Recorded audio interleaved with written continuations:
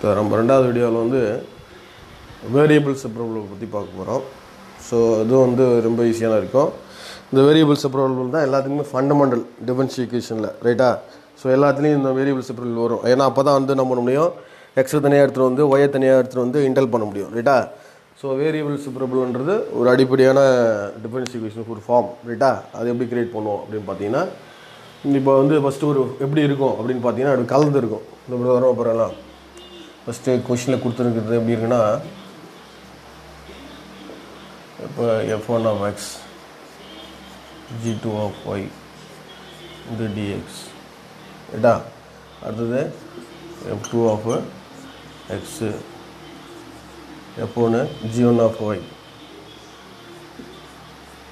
ரைட்டா into dy so equal zero சும்மா ஒரு மாடல் சம் போடுறேன் ரைட்டா ஸோ எப்படி வருதுன்னு பார்ப்போம். ஃபஸ்ட் நம்ம இதே போல் ஒரு ஈக்குவேஷன் கலந்து கொடுத்துருப்பாங்க. ரைட்டா ஃபஸ்ட் என்ன பண்ணுறீங்க ரெண்டு பார்ட்டாக பிடிச்சிக்கணும் அதான் ஈக்குவலுக்கு தான். Left hand side equal to right hand side first அந்த ஐடியா தெரிஞ்சால் போதும் ஈஸியாக இருக்கும். ஸோ எல்ஹெச் சிசிக்கல் ஆர்ஹெச்எஸ் போல் ஃபஸ்ட்டு என்ன பண்ணுறீங்க? F one of X G two of YA dx ரெண்டு இதாக அப்படி பிடிச்சிக்கிறீங்க. டிஎக்ஸ் ஒரு பக்கம் டிஒய் ஒரு பக்கம். ரொம்ப சிம்பிளாக சொல்லலாம் டிஎக்ஸ் ஒரு பக்கம் டிஒய் ஒரு பக்கம். இந்த ப்ளஸ் அதான் வச்சு மைனஸ் ஆகிடும் ப்ளஸ் இதுதான் fundamental into GN of Y into dy கணக்கு நடத்தும் போது பக்காவாக புரியும் ஈஸியாக இருக்கும். ஆனால் ப்ராக்டிக்ஸ் பண்ணும்போது தெரியும். டெஸ்ட் வைக்கும்போது நீங்கள் அதை ஃபீல் பண்ணுவீங்க. அதனால் வந்து ஒரு வருஷமும் ஒரு மாடல் இருக்கும். அதனால் எல்லா மாடலும் நம்ம நடத்துகிறேன் அழகாக நீங்கள் என்ன பண்ணால் உள் வாங்கிட்டு டெஸ்ட்டில் நல்ல மார்க் எடுத்து ஸ்பீடாக போடுறது முக்கியமாக பார்த்துங்க ப்ராக்டிக்ஸ் பண்ணுறேன் ஸோ டிஎக்ஸ் இருக்கிற பக்கம் எக்ஸ்லாம் கூட்டுவாங்க வாங்க. ஒரு F one of X divide by dx எங்கே இருக்கோ அதனால் X one F two of X இங்கே மைனஸ் இதுனது ஜி ஒன் ஆஃப் ஒய்யே நிறைய பேர் வேலைக்கு போய் போயிருக்கீங்க ரொம்ப லாங் கேப்பு நிறைய பேர் மறந்துருப்பீங்க. ஸோ அதனால் அலட்சியம் இல்லாமல் கொஞ்சம் ப்ராக்டிக்ஸ் பண்ணுங்கள் இது நல்லா தெரிஞ்சவங்களை பற்றி பிரச்சனை இல்லை.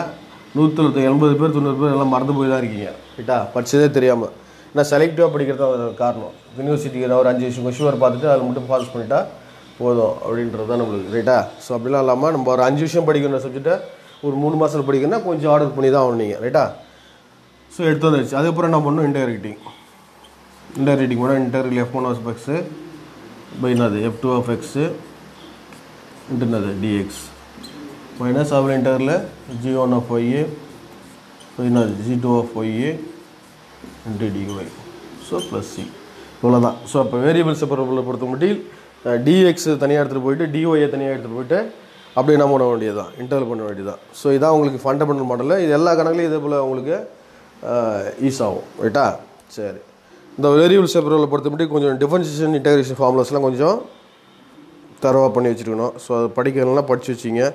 Integration of sin X cot எக்ஸ்லாம் ஈஸியாக தெரியும் பட் ரொம்ப ரூட்டில் வர்றதெல்லாம் கொஞ்சம் நல்லா பார்த்து வச்சுக்கணும். கேட்டா? ஸோ ரூட்டில் வர்றது கொஞ்சம் கேட்கறதுக்கு நிறைய வாய்ப்புகள் இருக்குது சரி ரைட் இப்போ ஒரு சம்மு போடுவோம். போட்டால் உங்களுக்கு ஐடியா கிடச்சிடும் ரைட் இப்போ வந்து இப்போ வேரியபிள்ஸ் செப்பரபிள்னா என்னென்ன ஒரு ஐடியா தெரிஞ்சு போச்சு. ரைட்டா அப்போ அதை எப்படி வச்சு ஒரு சம் போடும் பாருங்கள் அதுக்கு முன்னாடி கொஞ்சம் இன்டரேஷன் டிஃபரன்சியேஷன் ஃபார்முலாஸ்லாம் கொஞ்சம் தரவா இருக்கா? காட் இன்னும் செக்ஸ் பண்ணா வரும் டேன் இன்னும் செக்ஸ் என்ன பண்ணணும் சைன் இன்னொரு செக்ஸஸ் பண்ணா வரும் one by one plus X square பண்ணா வரும். ஸோ அதெல்லாம் கொஞ்சம் டிஃப்ரெண்ட்டாக ஃபாலோ பண்ணிட்டீங்கன்னா ரொம்ப ஈஸியாக இருக்கும். ரைட்டா ஸோ அதுக்கு முன்னாடி கொஞ்சம் பேசிக்கெலாம் கொஞ்சம் கொடுத்துருவோம். ஓகே அதான் உங்களுக்கு ஈஸியாக இருக்கும். என்ன சார் பேசிக்கு இருந்தாலும் தெரிஞ்சிருக்கும். சில அடிப்படையான விஷயங்கள் கொஞ்சம் கொடுத்துட்டா ஈஸியாக இருக்கும். இப்போ இப்படி இருக்குது one by X into dx இதோட பேசிக் ரூல் என்னென்னா கீழே இருக்கிற வேலையை டிஃபரன்ஷியேட் பண்ணி அந்த ஆன்சர் மேலே வந்துச்சுன்னா கீழே எடுத்து லாக் போட்டுக்கணும் டேரெக்டாக சொல்கிறீங்க நீங்கள் ஒன் பை எக்ஸ் பண்ணால் லாக் எக்ஸ் சார் பட் இதில் ஒரு ப்ராப்பர் மெத்தட் என்னென்னா இந்த கீழே இருக்கிற வேலையை டிஃபரன்ஷியேட் பண்ணி பார்க்கணும்.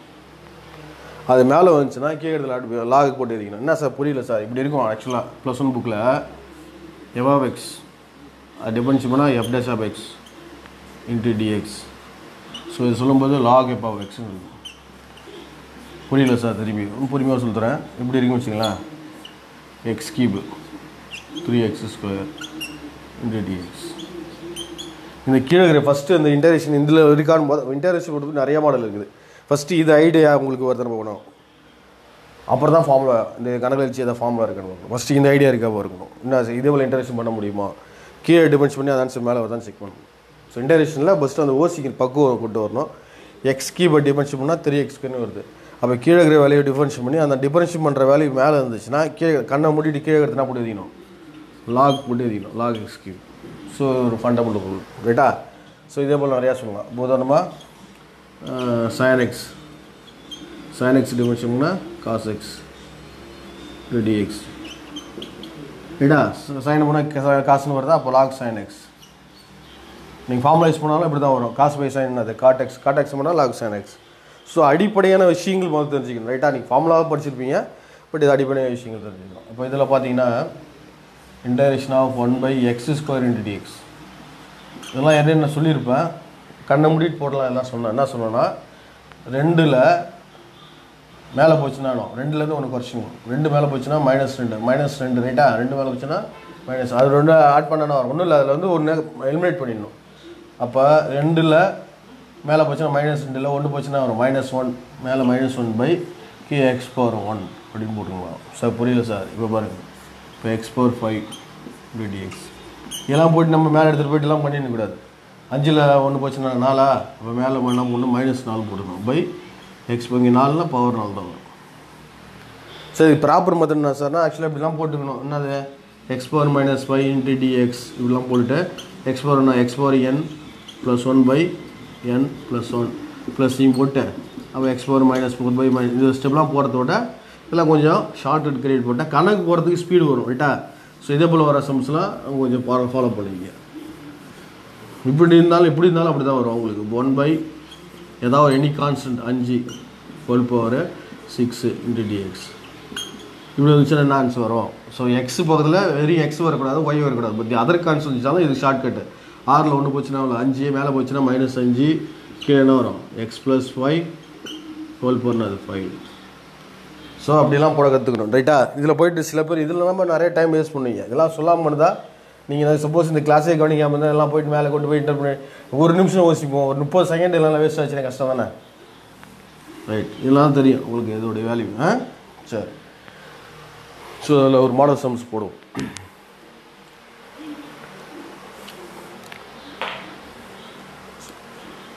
ஒரு ஒரு அஞ்சு சம் நான் போட்டேன்னா இல்லை ஒரு ரெண்டு சம் மூணு சம் போட்டேன்னா இதே மாடல் சம் எடுத்து நீங்கள் நிறைய புக் ரெஃபரன்ஸ் வச்சுருப்பீங்க. காலேஜ் படித்த புக்கு கூட வச்சுருப்பீங்க. அதெல்லாம் நான் கொஞ்சம் எடுத்து ப்ராக்டிக்ஸ் பண்ணி பார்க்கணும். ரைட்டா அப்படி இல்லாமல் மறந்துச்சுன்னா ஒன்றுமே பண்ண முடியாது.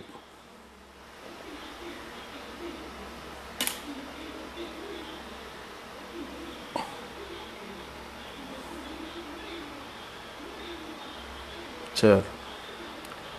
ஒரு நிமிஷம் இந்த இங்கி போட்டு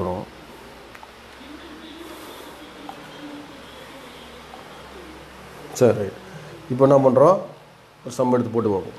ம்? ஃபார்மேஷன் ஆஃப் டிஃபரன்ஸ் ஈக்குவேஷன்ஸ் ஒரு ஈஸியான சம் எடுத்து போடுவோம். இதுலேயே கொஞ்சம் நிறைய டிஃப்ரெண்ட் மாடல் இருக்குது. ஸோ அதையும் நீங்கள் ப்ராக்டிக்ஸ் பண்ணணும். இப்போ பாருங்க three into e four x tan y into dx கொடுத்துருக்கோம் solve three x into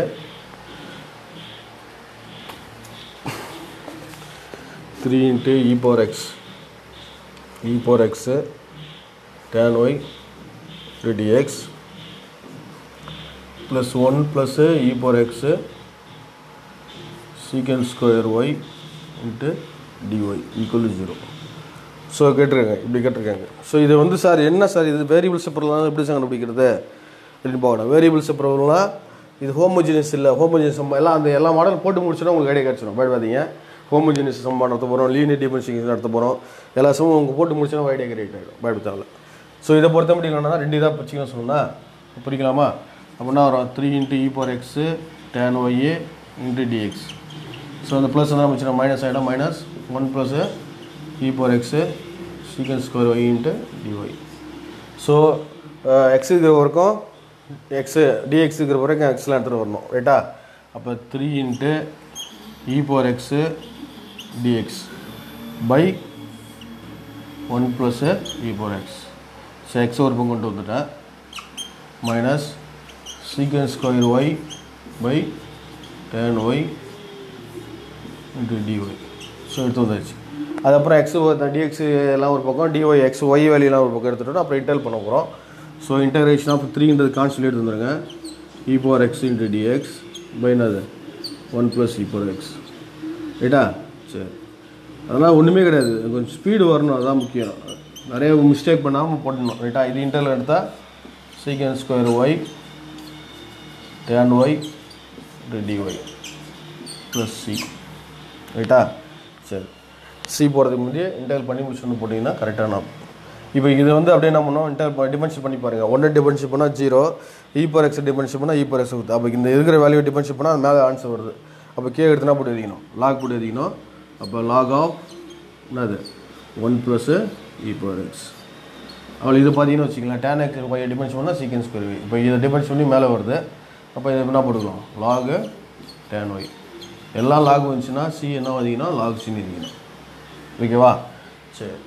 எழுதி முடிச்சிட்டோன்னே இது என்ன ஃபார்முலா யூஸ் பண்ணுறோம் அப்படின்னா அந்த log m to the power of n டென்த்தில் படித்த ஃபார்முலா அந்த பவர் மிண்டி வந்துடும் இப்போ log one plus e e four x whole cube ரைட்டா இந்த மைனஸ் இந்த வந்துச்சுன்னா ப்ளஸ் ஆகிடும் ப்ளஸ்னால் அது log tan y equal to log c log m plus log m plus log n log m plus log என்ன வரும். லாக் எம் ப்ளஸ் லாக் என்ன லாக் எம்என் டென் வருமா? அப்போ என்ன வரும்? Log one plus e four x whole cube into tan y equal to log c so ரெண்டு பக்கம் log cancel ஆச்சுன்னா one plus e four x whole cube into டேனோ y equal to c that's all